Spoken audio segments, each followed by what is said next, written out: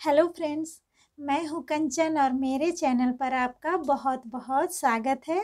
तो आज हम बनाएँगे फ्राइड राइस बहुत ही जल्दी बनकर ये तैयार हो जाता है। तो चलिए बनाना स्टार्ट करते हैं। फ्राइड राइस बनाने के लिए यहाँ पर मैंने एक बाउल में बॉयल्ड राइस लिया है।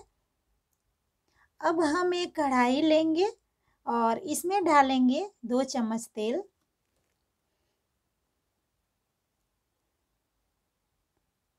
हाफ़ चम्मच जीरा डाल देंगे। तीन से चार लहसुन की कलियाँ बारीक कटी हुई।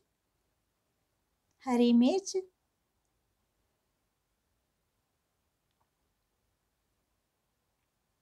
अब डाल देंगे प्याज। एक प्याज लिया है मैंने। अब इसे एक से दो मिनट भून लेंगे। लहसुन और प्याज भुन गया है। तो अब हम इसमें सब्ज़ियाँ डालेंगे। तो सबसे पहले हम इसमें बीन्स और गाजर डालेंगे। इसे मैंने एकदम बारीक बारीक कट कर लिया है।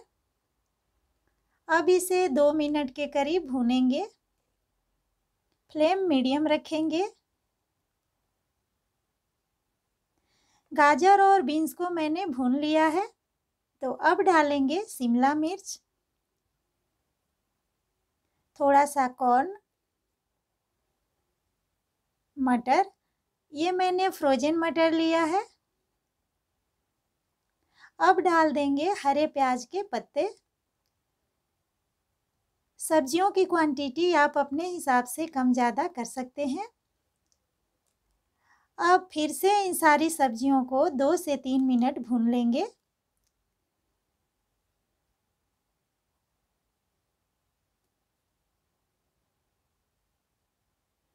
तो ये देखिए, सब्जियों को मैंने अच्छे से भून लिया है।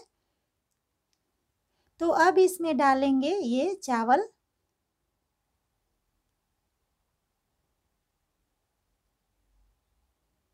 साथ ही में डाल देंगे एक चम्मच रेड चिली सॉस।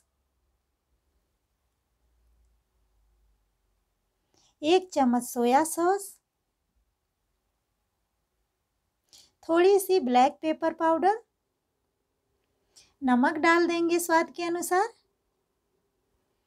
और ये लिया है मैंने नींबू का रस, हाफ़ नींबू का रस लिया है मैंने। अब इसे हाई फ्लेम पर हल्के हाथों से मिक्स कर लेंगे। तो ये लीजिए, हमारा फ्राइड राइस बनकर तैयार है। आप देखने से ही अंदाज़ा लगा सकते हैं कि बहुत ही टेस्टी बनकर तैयार हुआ है। तो फ्रेंड्स, अगर मेरा वीडियो अच्छा लगे तो लाइक और शेयर ज़रूर कीजिएगा।